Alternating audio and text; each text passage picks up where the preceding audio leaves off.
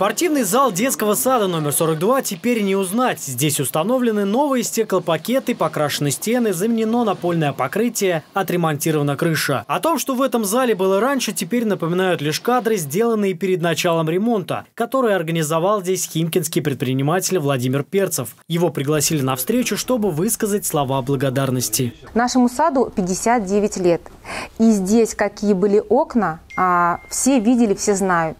И то, что мы имеем сейчас, это большое благо и для нас, и для наших детей. Спасибо, что у нас появились не спонсоры, а меценаты, которые вкладывают от всей души, без надежды получить какую-то прибыль, а просто сделать людям приятное. Химкинский депутат Николай Томашов отметил, что пример предпринимателя должен быть заразителен.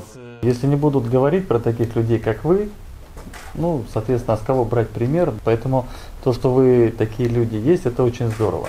Владимиру Перцеву вручили благодарственные письма. Предприниматель добавил, что помог с ремонтом от чистого сердца. Познакомились с замечательными людьми, с этим детским садом и смогли вот какую-то помощь оказать. Долг каждого гражданина какой-то вклад делать в общественные дела безвозмездно, в силу своих возможностей. Безвозмездную помощь Владимир Перцев оказывает уже не в первый раз. Говорит, что и не в последний. Возможно, еще какой-то детский сад, который включен в план ремонта, получит обновление раньше срока.